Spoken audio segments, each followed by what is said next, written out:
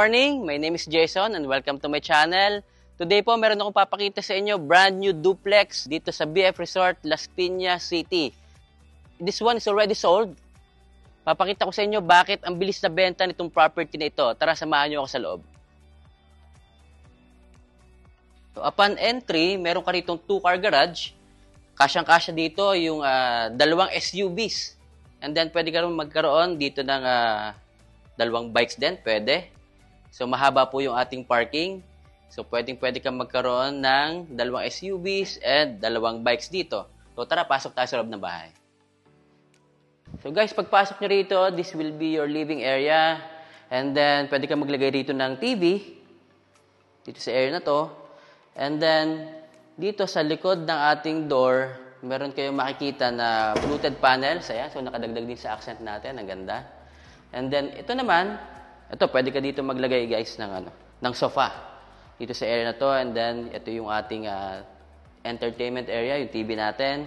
Then, this one, ito yung ating pinaka-pocket garden. Ayan, so nakapaglagay pa siya rito ng pocket garden or yung ating ah, indoor garden. And then, sa ating kitchen naman, you have here, ito yung ating fridge area. So, meron ng outlet dito. Then, ito yung ating ah, quartz countertop. Included na rin po siya. You have here the overhead cabinets. Okay, kasama na rin. And then dito, you already have sink na rin. And yung ating ah, three-burner cooktop, already included. Yung ating range hood, kasama na rin po yan. Then plus yung ating ilaw dito, ayan, nakadagdag din sa accent natin.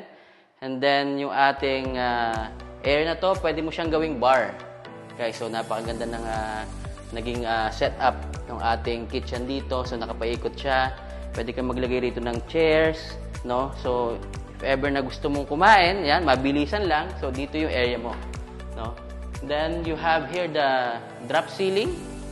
Meron ka ng ceiling light dito. So ang ganda rin ng naging accent niya. Plus, ito guys, you have uh, fluted panels here. So hanggang dito, so medyo malaki yung naging fluted panels natin dito. So naging modern pa rin yung dating. Then tong area na to, ito yung dining natin. So pwede ka maglagay ng mga 6 to 10 dining chairs dito.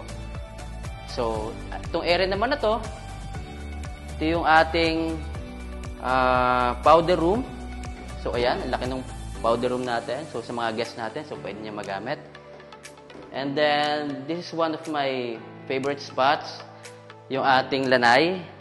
So guys, ayan, yung tiles natin, hindi siya masyadong madulas. And then, open area po siya. So kung mapapansin nyo, you have natural light here. And yung ating fresh air, ayan, mahangin. No? Ayan, gumagalaw pa yung mga dahon natin dito. So you have here the artificial grass. So pwede kang maglagay rito ng mga chairs mo, ng upuan. Pag may guest ka, pwede ka ring maglagay rito ng siguro ah, sound system. No? So you have the outlets here. And ito naman, pwede kang maglagay rito ng mga gusto mong halaman. So but you have already the plants here. So ever, pwede mo siyang palitan. Then sa area naman na to, ito yung pwede mong gawing ah, guest room or maid's quarter. So, meron siyang sariling toilet and bath. So guys, akit tayo second floor, pakita ko sa inyo. So ito guys, yung ating magiging, yung ating stairs. This one is a solid wood, no? So makapal siya. And then yung ating handrails naman, this is a frameless tempered glass. So yan, matibay din yung pagkakagawa natin dito. Okay, so itong atin namang wash paint dito sa wall. So nakapagdagdag din siya ng accent natin. Medyo industrial yung dating. So bumagay siya rito sa ating frame ng ating stairs. No? So ito is a steel, solid steel. So matibay po siya.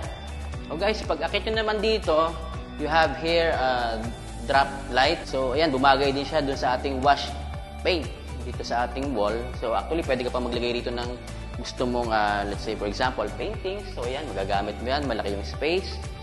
And then this one, meron siyang maliit na utility area. And then, we go to this one bedroom. Okay, so most likely this one is a uh, uh, 12 or 15 square meters na room. No, you have here the window, so buo siya. Mula dito hanggang dun sa dulo. So, a lot of natural light din. No? And then, dito naman sa ating second room, meron na siyang kasamang cabinet. So, this one is a movable cabinet. O, kasama na rin siya. Then, same with that one bedroom. No? Meron ka na rin ditong ah, windows and natural light na rin. So, medyo malaki, maganda. So, pag inopen mo yan, very fresh pa rin yung ating magiging room dito. And then, dito naman, ito yung ating common toilet and bath. So, ayan. So, ito yung area natin toilet and bath. Puntahan naman natin yung ating master's bedroom. So, ito guys, yung master's bedroom natin, meron siyang kasamang balcony. So, ayan. Paglabas mo, ito yung ating area. Ang ganda ng paligid. So, very private pa rin dito. And then, paligid siya ng mga bintana. Ayan, yung ating mga owning windows. Ayan, dito. So, a lot of natural lights pa rin. And then, you have a good ventilation kapag inopen mo siya lahat. Then, ito, may kasama na rin siyang cabinet. Ayan. So, yun yung kagandahan dito sa room na to. May kasama na siyang cabinet. Then, yung ating toilet and bath. Ito, ang laki rin ng space. So, ayan, kung mapapansin mo, kumpleto na. Lahat po ng toilet and baths dito, meron na siyang kasamang heater. So, ito yung isa sa mga nakita ko na advantages natin dito sa bahay na to. That's it for today's video guys. If you want to own this property, this property is 13 million dito sa BF Resort Village sa Las Piñas. Nandyan po yung aking email address, nandyan yung aking number, WhatsApp and Viber. So pagka gusto nyo mag-set ng appointment, pwede nyo makita itong property na ito, message lang po kayo sa akin. Again, this is Jason, Focus on CLT, and see you on my next video.